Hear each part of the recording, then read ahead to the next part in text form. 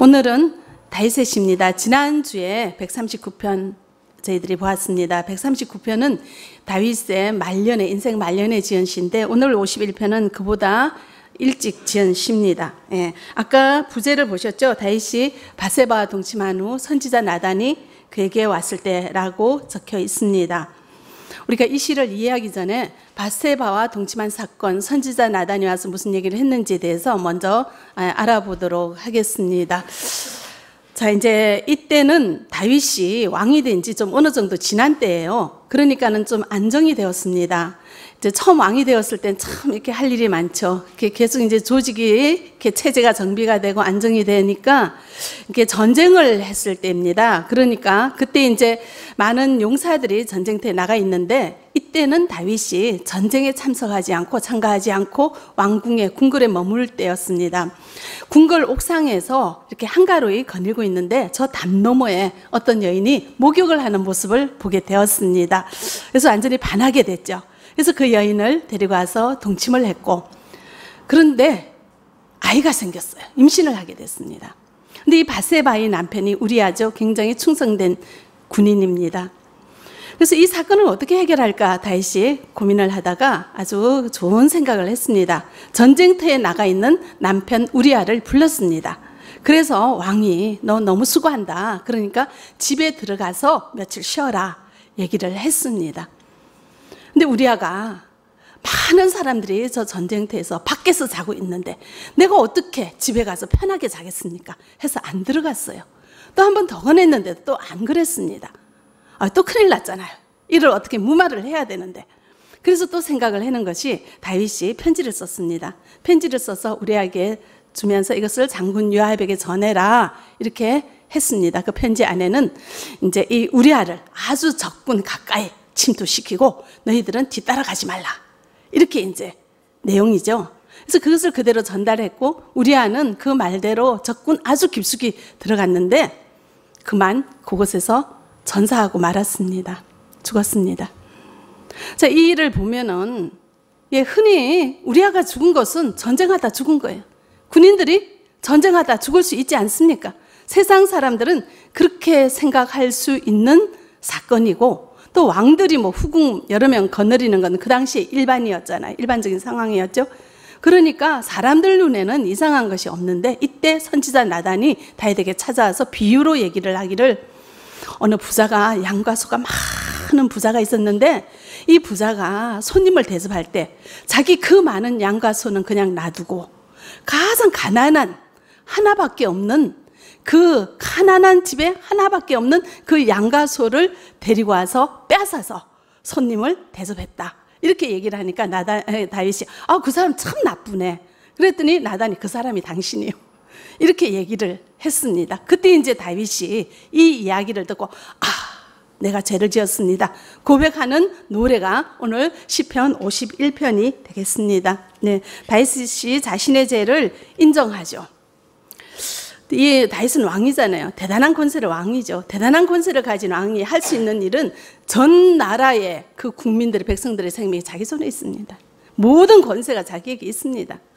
그 권세를 누리는 것이 일반적인 상황이고 그 당시의 상황이었죠. 지금으로부터 3천년 전에. 근데 지금으로부터 2천년 전에 예수님 시대에 헤롯 왕이 있지 않았습니까? 이 헤롯 왕이 한 일에 대해서 성경이 또한 기록하고 있는데 이 헤롯 왕은 자기의 동생 아, 어, 동생 빌립 왕의 아내 헤로디아를 자기 왕비로 취했습니다. 옳지 않잖아요. 근데 이것을 세례 요한이 옳지 않다고 얘기를 했습니다. 그랬더니 헤로당이 그 세례 네가 뭔데 감히 그런 얘기를 해 해서 감옥에 가뒀고요. 또 이런저런 일로 세례 요한은 그 자기를 비난하는 세례 아, 어, 헤로당은 세례 요한의 목을 쳤잖아요. 죽였잖아요. 이것이 왕의 권세입니다. 이렇게 해도 괜찮, 그 당시에는 일반적인 그런 일들이죠. 왕의 권세가 대단한 거죠. 다윗은 그 당시 이스라엘이 굉장히 막강한 정성기를 누리고 있는 그 어마어마한 권세를 가진 왕이었습니다. 자기 마음대로 모든 것을 다스릴 수고 자기의 말이 법인 그런 권세를 지닌 왕이 나단이 지적하는 그 말에 내가 죄를 지었습니다. 고백을 하고 그 죄를 가지고 하나님 앞에 나왔습니다. 그리고 용서를 구합니다. 자, 1절로 3절 우리 같이 읽어보겠습니다. 하나님이여 주의 인자를 따라 내게 은혜를 베푸시며 주의 많은 긍휼을 따라 내 죄악을 지어 주소서. 나의 죄악을 말갛게 씻으시며 나의 죄를 깨끗이 제하소서. 물은 나는 내 죄가를 아오니 내 죄가 항상 내 앞에 있나이다. 다윗은 주의 인자를 따라서 내 죄를 용서해 주십시오. 주의 긍휼을 따라서 내 죄를 용서해 주십시오. 이제 주님 앞에 간절히 간절히 예, 용서를 구합니다. 또 3절에 보시면은 나는 내 죄가를 아오니 이 안다는 단어는 에다라는 단어는 피상적으로 아는 것이 아니라 철저하게 그 본질까지 깊숙하게 파헤치면서 안다는 것. 몸으로 몸소 체험한다는 그런 안다는 것입니다. 다윗이 내 죄를 안다고 합니다. 이것이 얼마나 훌륭한 위대한 왕인가 우리가 알 수가 있습니다. 의인은 죄를 짓지 않는 것이 아니라 그 죄에 대해서 정직하게 회개하는 자를 의인이라고 할 수 있는 것입니다. 왜냐하면 일반 사람들은 내 죄를 몰라요. 내 모습을 내가 몰라요. 나를 내가 잘 몰라요. 그러면서 안다고 생각을 하는 거죠. 제가 오래전에 어떤 관찰 예능 프로그램을 봤습니다. 외국이 아주 배경이었는데요. 외국 사람이 촬영한 그 관찰 텔레비전이 방송되는 것을 보았습니다. 아이가 문제가 있는 집에서 상담사를 찾아갔습니다. 그래서 그 상담사에게 부탁을 하는 것이 우리 아이 참 이렇게 파괴적인 행동을 하고 이상하다. 이 아이를 좀 고쳐주십시오. 이것을 이제 의뢰하는 내용이었습니다. 그래서 그 상담사는 이것을 어떻게 해결하냐면은 각 집안에 카메라를 다 설치를 했어요. 온 곳에 다. 그래가지고 일주일 동안 사는 모습을 촬영을 하는 거죠. 그리고 일주일 후에 그 촬영된 것을 녹화를 해서 엄마 아빠를 앞에 앉혀놓고 같이 보는 거예요. 그런데 거기 촬영된 모습에는 이 아빠가 엄마가 어떻게 행동하며 사는가가 적나라하게 드러나잖아요. 아빠는 딱 집에만 들어오면은 화를 내요. 그리고 한 번도 부드럽고 잔잔하고 친절한 말로 얘기하는 걸 모르고 굉장히 아이만 보면은 야단을 치는데 그 야단 치는 것이 일관적이지 않아요. 아이가 방에 있으면은 방에 있다고 야단을 치고 나와서 밖에 있으면 공부 안 하고 밖에 있다고 야단을 치고 그러니까 굉장히 가치가 혼란이 되는 그런 생활을 하고 있고요. 엄마는 늘 찡그리고 있습니다. 찡그리고 있어서 엄마가 아이가 가까이 오면은 엄마는 바빠. 너 혼자 해. 너는 그것도 못해. 따뜻하고 친절한 말로 하는 것이 아니라 항상 이 아이에게 부정적인 감정을 느끼도록 이렇게 말을 하는 모습이 녹화가 되어 있는 거예요. 그 모습을 보면서 상담사가 얘기하기를 아이의 문제는 부모에게서 비롯되었습니다. 부모의 행동을 고치면 고치는 것이 급선무입니다. 이렇게 얘기를 하는 거예요. 그분들은 너무 깜짝 놀랐죠. 아빠는 나는 아이를 잘 훈육하는 훌륭한 아빠라고 생각했고, 엄마는 나는 아이를 너무나 자상하게 잘 양육하는 훌륭한 엄마라고 본인은 생각했는데, 자신의 사는 행동을 보니까 본인의 눈에도 어, 이상해 보이는 거죠. 내가 저렇게 이상하게 말하고 이상하게 행동하는 사람인 줄 몰랐던 거예요. 이렇게 사람은 자기 모습을 잘 모릅니다. 지금 인터넷에 치면은 쌍권청 클로리를 치면은 인터넷에 떠요. 왜냐면은 세상에서 가장 극악무도한 사형수였어요. 참 악랄한 사람으로 아주 지금까지 사람들에게 인식이 되는 그런 사람인데 이 사람은 상권청을 타고 다니면서 자기 기분에 맞지 않으면 쏴죽여요. 그러니까 굉장히 문제를 많이 일으키는 그 사람이 이제 검거가 돼가지고 감옥에 가게 됐는데 이분이 하는 이 사람이 하는 말이 나는 늘 피곤하고 지쳐 있다. 그렇지만 내 심장은 따뜻하다. 나는 어느 누구에게도 해를 끼치지 않는다. 이렇게 얘기를 하고요. 이제 전기 의자에 앉아서 사형을 당하기 전에 나는 내가 한 정당 방위의 대가를 지금 치르고 있다. 사형을 당하는 거 자기가 무슨 것을 했는지 모르는 거예요. 이것이 세상 사람이고 일반적인 상황인데 다윗은 여기서 뭐라고 합니까? 내 죄과를 안다고 얘기하잖아요. 자기를 자신의 모습을 알고 자기가 무엇을 잘못하고 있는지 어떤 죄를 짓고 있는지를 안다는 것이 굉장히 훌륭하고 위대한 하나님의 백성이라는 것을 우리는 알 수가 있습니다. 우리는 어떤지요? 우리는 상대방과 문제가 생기면 상대방이 당신은 왜 그렇게 말해? 이러면은 내 말투가 좀 그래. 그런데 너는 그렇게 나한테 그렇게 할 수가 없잖아. 나는 억울해. 이렇게 얘기를 하는데 사실은 내가 그렇게 거칠게 하는 말이 상대방에게 어떤 상처를 줬는지는 모르는 거예요. 그러니까 나는 저 사람에게 선하게 됐는데 저 사람이 왜 나한테 이런 공격을 하지? 억울한 거예요. 원통하고. 자기 자신을 살피는 성찰하는 은혜가 있기를 바랍니다. 내가 어떤 태도를 가지고 살고 있고 어떤 말을 하면서 살고 있는지 성찰하는 은혜가 있기를 원합니다. 내 죄를 내가 압니다. 이거는 아무나 고백할 수 있는 신앙의 경지가 아니라는 것을 알 수가 있습니다. 다윗이 그래서 위대하고 훌륭한 거죠. 네. 또 시편 51편 6절을 보도록 하겠습니다. 보소서 주께서는 중심이 진실함을 원하시오니 내게 지혜를 은밀히 가르치시리이다. 여기서 중심이라는 것은 마음속 깊은 곳을 가리키는 거예요. 이 마음속 깊은 곳이 까지 진실한 자를 우리 하나님께서는 원하신다는 것을 다윗은 알고 있고 내가 그렇게 되기를 원합니다. 이렇게 고백을 하는 것을 볼 수가 있습니다. 이 설교를 준비하면서 제가 한 30년 전의 일이 생각이 났습니다. 지금까지도 그때 그 기분이 아주 생생하게 기억이 될 정도로 굉장히 제가 참 이렇게 굉장히 각인이 되는 사건이 있었는데요. 저희 아버님이 뇌암이셨어요. 그래서 울산에 사시던 우리 아버님이 서울에 병원도 다닐 겸해서 저희 집에 와 계시고 어머니도 와 계시고 그래서 병원을 매일 이렇게 다니는 그런 상황이었습니다. 울산에 계시는 분이 서울에 오시니까 울산에서 같이 다니던 우리 학교 선생님들이 우리 아버님을 문병하러 서울까지 오셨습니다. 그때 코란동가 큰 차를 타고 다섯 명이 같이 오셨는데 아침에 출발해서 우리 집에 도착한 것이 저녁이었어요.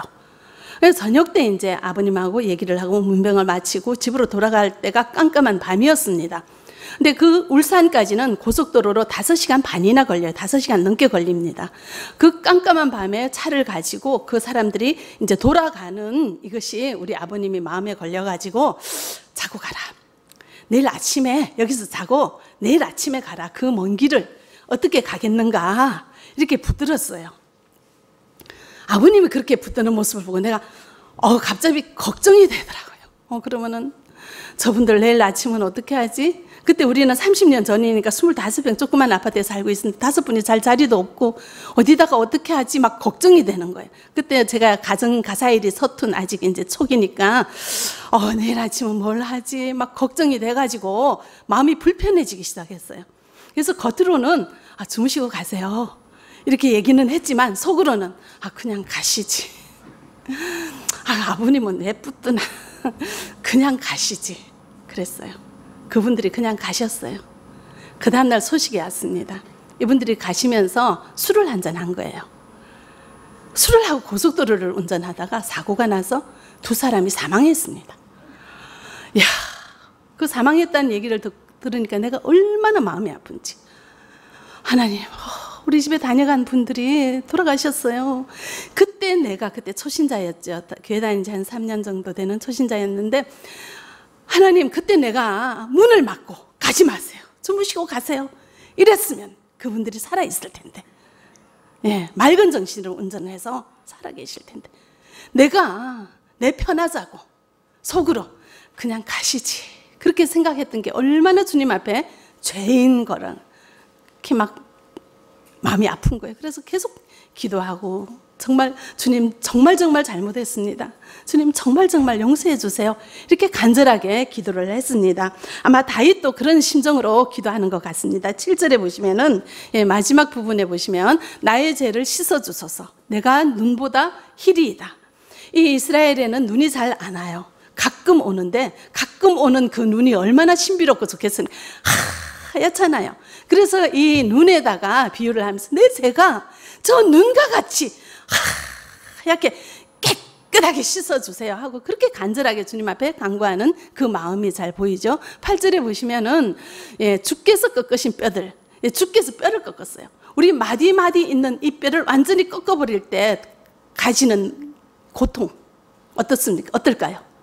그 정도로 죄책감에 사로잡혀 있다고 다윗은 고백하고 이런 죄책감에서도 즐거워하게 하소서. 이 죄책감에서 내가 해방되게 해 주세요. 주님 앞에 간절히 간절히 기도하는 그 마음이 너무나 잘 나타나 있습니다. 저도 그때 얼마나 울면서 그 부끄럽잖아요. 숨어가지고 방에서 나 혼자 있을 때 또 엎드려서 기도하고 또 울고 주님 정말 잘못했습니다. 정말 용서해 주세요. 이렇게 이제 제가 기도 많이 했더니 이 죄책감에서 하나님께서 벗어나게 한 그런 경험이 있습니다. 자, 우리는 어떤 주님만이 아시는 죄가 있습니까? 드러나지 않는 죄, 10년 깊숙한 곳에 박아놓은 죄, 내가 늘상 하는 행동이 죄인 줄도 모르고 늘상 되풀이하는 죄는 없으신지요? 자기 자신을 살피시고 자기 심령의 깊숙한 곳에 박혀 있는 예, 죄까지 주님 앞에 내어놓고 고백하고 회개하며 눈과 같이 희게 될 수 있도록 내 심령이 주님 용서해 주세요. 간절히 간절히 간구하는 우리가 되어지기를 바랍니다. 네. 이 다윗의 51편은 참회시인데요. 참회시는 잘못했습니다. 용서해 주세요. 이렇게 하는 시잖아요. 보통 다른 참회시는 여기까지 끝납니다. 죄송합니다. 잘못했습니다. 이런데 이 다윗의 51편 참회시는 다른 면이 지금 10절부터 이제 전개되는 이 내용이 다른 참회시와 좀 다른 면이에요. 죄송합니다. 잘못했습니다. 여기서 끝나는 것이 아니라 주님, 내가 일어날 수 있게 해주세요. 내가 여기에서 죄책감에 빠져 있는 것이 아니라 이제 내가 이 죄를 용서 받으면 무엇 무엇을 하겠습니다. 결단하며 서원하는 내용까지 희망을 가지고 주님을 기대하며 내가 더 주님의 백성으로 떳떳하게 살아갈 수 있는 그 길을 기대하며 바라보는 그 내용이 10절부터 있습니다. 자, 10절부터 12절까지는 내 심령을 깨끗하게 회복되게 해주세요. 죄에서 잘못했습니다 하고 엎드려서 계속 눈물로 내 뼈가 녹아나는 듯이 내가 죄책감에 있습니다. 이런 데서 날 구해주세요. 이렇게 하면서 이제는 내 심령이 새롭게 되게 해주세요. 내가 회복되게 해주세요. 이렇게 이제 기도를 하는 것을 볼 수가 있습니다. 10절에 보시면은 정한 마음을 창조하시고 이거는 예, 깨끗한 심령이 되게 해달라고 얘기를 하는 거죠. 내 안에 정직한 영을 새롭게 하소서. 이것은 예, 이, 내가 가진 이 마음이 견고하게 세워주세요. 한번 그랬다가 또 그러고 또 그러게 변함없이 견고하게 세워질 수 있도록 나를 붙들어 주세요. 이렇게 부탁을 하는 것이죠. 자, 11절에 보시면은 나를 주 앞에서 쫓아내지 마시며 주의 성령을 내게서 거두지 마세요. 주님 나 쫓아내지 마세요. 나를 버리지 마세요. 부탁을 합니다. 자, 신약 시대는 성령이 한번 내주하시면 영원히 함께 합니다. 그러나 구약 시대는 성령이 한번 오면 떠날 수 있습니다. 사울에게 성령이 임했다가 사, 성령이 떠나고 나니까 악신이 임한 우리 사울을 보았지 않습니까? 구약 성경에서 다윗은 그걸 아는 거죠. 그러니까 주님 제발 나를 버리지 마시고 나에게서 성령이 떠나지 않도록 주님 예, 부탁합니다. 이렇게 얘기를 하는 거죠. 자, 12절에 보시면은 예, 구원의 즐거움을 내게 주시고 예, 보시면은 이 다윗이 죄를 지으니까 주님을 만나는 기쁨이 없어졌어요. 여러분들은 어떠세요? 요즘 코로나를 통해서 예배를 좀 멀리 하니까 주님이 먼저 생각이 납니까? 세상이 먼저 생각합니까? 늘 우리가 이제 시간이 있으니까 텔레비전을 많이 보게 되죠. 텔레비전 보는 건 괜찮은데 텔레비전의 내용이 나를 지배하지는 않는지요. 어떤 장로님이 토요일 날 사극을 열심히 봤습니다. 텔레비전을 너무 열심히 보는 이 장로님이 주일 날 대표 기도를 하는데요. 어떻게 하냐면은 하나님 아버지 기도를 하고 자 어떻게 해야 되니까 이게 신앙의 말을 해야 되겠죠. 근데 하나님 아버지 하고는 황공 무지로소이다. 어제 사극에서 그 내용을 봤거든. 그게 완전히 사로잡혀 있어가지고, 예, 여러분들은 어떠세요? 하나님이 먼저 생각이 납니까? 어제 본 드라마 내용이 먼저 생각이 납니까? 텔레비전의 내용이 아직도 그냥 귀에 쟁쟁합니까? 이렇게 텔레비전의 지배를 받아서는 안 된다는 거죠. 그렇게 되면은 우리의 마음이 주님께서 멀어지고 주님이 하라고 하는 게 힘들어지고 기쁨이 없고 신앙생활이 힘들어져. 다윗도 죄를 짓고 나니까 그런 마음을 경험하니까 이렇게 얘기를 기도를 합니다. 구원의 기쁨을 회복시켜 주십시오. 자, 우리도 이와 같은 기도를 하시기 바랍니다. 그래서 많은 사람들이 주님, 제 신앙이 식어져 가는 것 같습니다. 제가 주님이 멀어지는 것 같습니다. 막 이렇게 얘기를 하는데요. 지금 상황에서 다른 방도가 없습니다. 여러분들 각자에게 달려 있는데 기도하십시오. 내 신앙을 회복하게 해주세요. 기도하시기 바랍니다. 우리가 한 번밖에 없는 인생입니다. 신앙생활 안 하고는 살 수 없다는 믿음이 있는 우리들입니다. 이렇게 흐지부지하게 허랑망탕하게 살겠습니까? 신앙생활 제대로 해야 되지 않겠습니까? 코로나든 뭐든 예배를 드릴 수 있든 드릴 수 없든 내 신앙은 내가 지켜야 되는 거죠. 구원의 기쁨을 회복하게 해 주십시오. 기도하시기 바랍니다. 그 뒤에 보시면은 자원하는 심령을 주사 나를 붙드사 예, 자원하는 심령이라는 것은 자발적으로 순종하는 부드러운 마음을 얘기해요. 부드러운 마음. 우리가 신앙생활에서 좀 멀어지면 우리 마음이 딱딱해져요.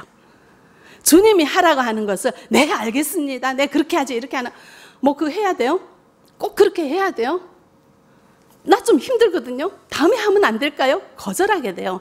부드러운 마음이 아니죠. 부드러운 마음은 자 우리 교회에서 지금 이제 설교를 듣고 그 문자를 서로 써서 나, 누잖아요 교구장한테 문자를 써서 보내고 또 교구장 또 우리가 교구장 카톡에서 또 자기 은혜 받은 은혜를 또 올리고 이런 이제 우리가 이벤트를 하고 있는데 사실 보면 좀 귀찮죠. 또 문자 그거 다 올리는 건 너무 힘들죠. 그러니까 아 나만 은혜 받으면 되지 뭐꼭막 그걸 써야 돼요. 이제 이러는 이야기를 하는 게 있는데 그런 말을 하는 내 심정을 생각을 해보세요. 부드러운 마음은 아니죠. 주님 앞에 말랑말랑하지 않죠. 좀 고집이 들어가 있죠. 교회에서 왜 일을 하겠어요? 지금 필요하니까 하는 거잖아요. 필요한 일을 할 때 내가 좀 힘들고 어려워도 네 알겠습니다. 이것이 자원하는 심령이에요. 네 그렇게 하겠습니다. 뭐든지 하겠습니다. 자발적으로 부드럽게 순종하는 마음이에요. 자, 이 마음이 각자에게 있는지 돌아보시고 없으시면 기도하세요. 자원하는 심령을 주십시오. 기도할 수 있기를 바랍니다. 교회에서 하는 일에는 말랑말랑한 마음으로 협조하세요. 교회에서 여러분들 망하게 하려고 하겠습니까? 우리 한중사랑교회는 우리 동포들 한 사람 한 사람을 얼마나 마음으로 생각하고 함께 천국까지 갈 때까지 승리하며 주님의 잘했다 칭찬받는 종으로 세워지기 위해서 혼신의 힘을 다하고 낮이나 밤이나 위해서 기도하며 우리 함께 가는 공동체 아닙니까? 신앙의 공동체 아닙니까? 우리 교회에서 하는 일이 여러분들 해롭게 하려고 하겠어요? 여러분들 해치려고 하겠어요? 믿으시고 자발적인 마음으로 부드러운 마음으로 여러분들 함께 협조하는 은혜가 있어지기를 바랍니다. 지금까지 문자 안 올리시는 분 회개하시고 동참해 주시기 바랍니다. 네. 왜 문자를 올려야 되는지 다음에 우리 함께 나누도록 하죠. 자, 이렇게 다윗은 자기의 심령이 새롭게 되게 해달라고 주님 앞에 또 기도하면서 이제는 주님께서 나를 용서하시면 용서해달라고 부탁하잖아요. 용서하시면 거기서 끝나는 게 아니라 서원을 해요. 결단을 합니다. 나 이런 이런 일을 하겠습니다.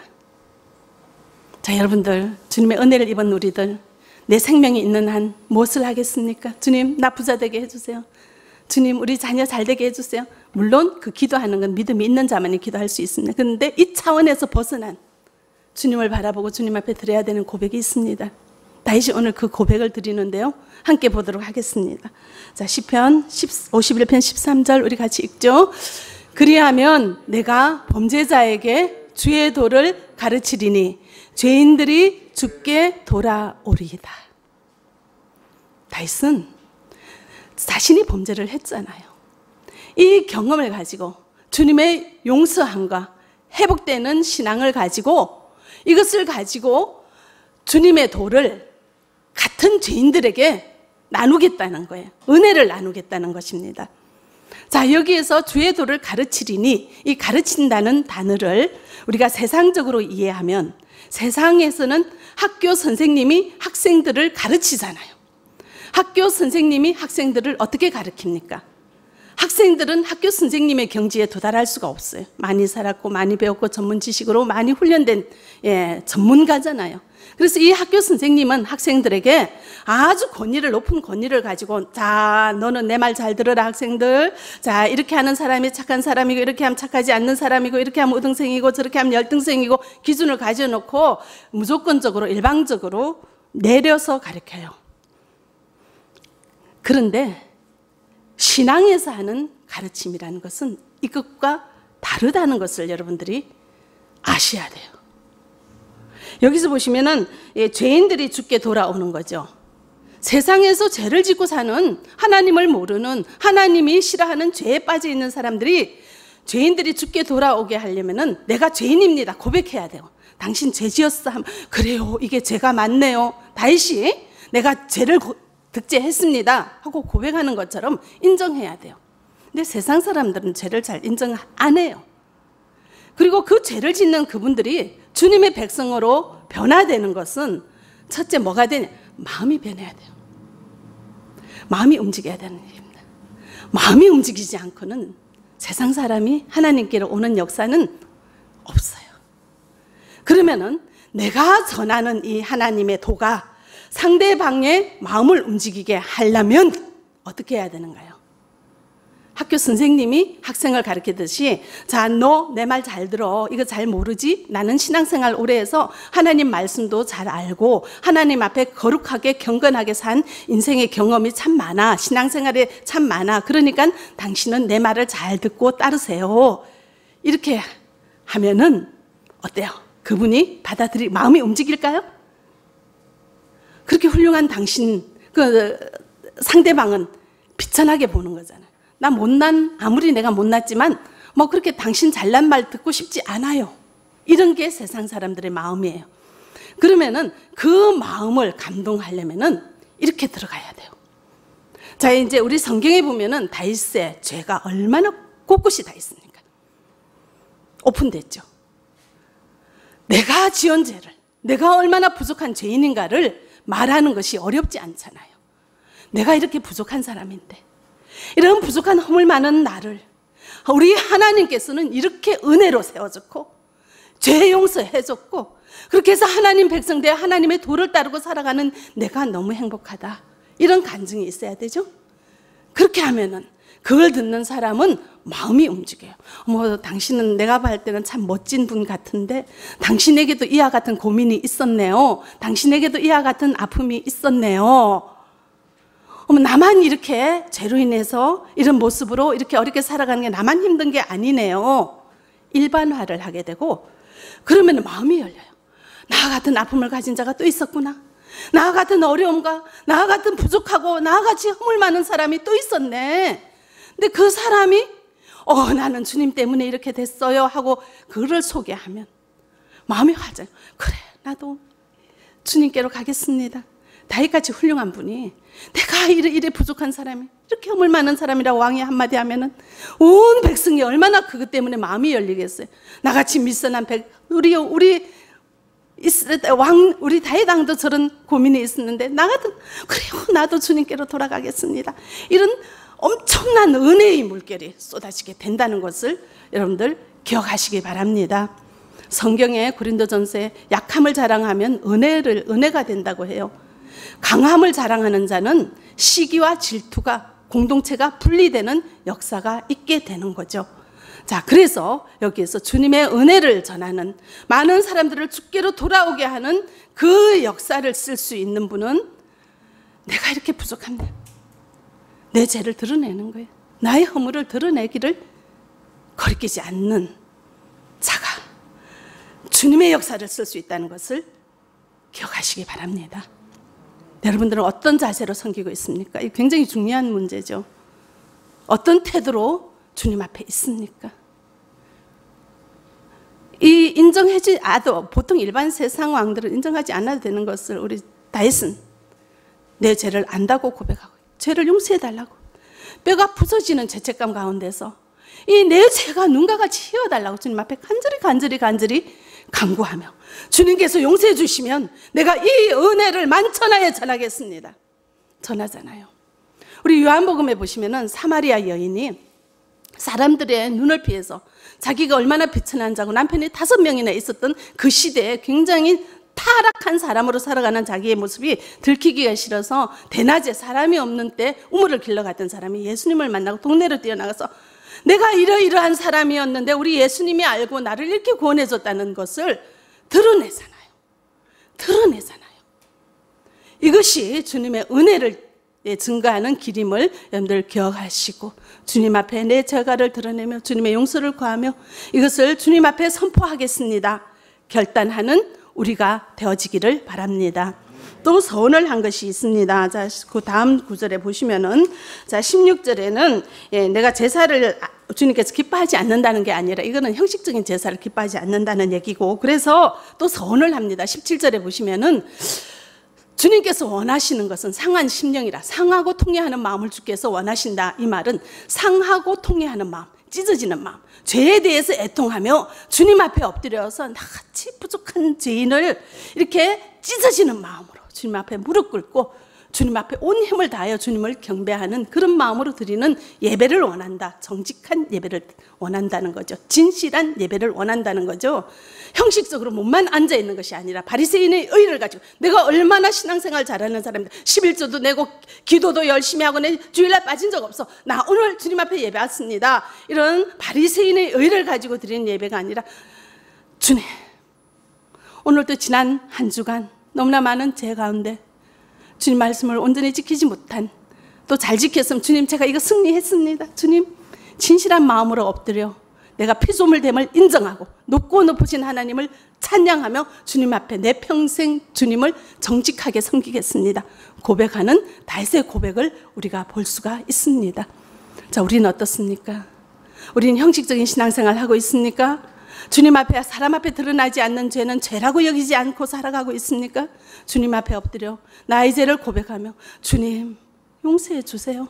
주님 이 죄를 용서하시면 주님 모든 죄인을 구원하겠습니다. 주님의 은혜를 선포하겠습니다. 이 세상 만방에 주님의 도를 전하겠습니다. 예수 그리스도의 사랑을 전하겠습니다.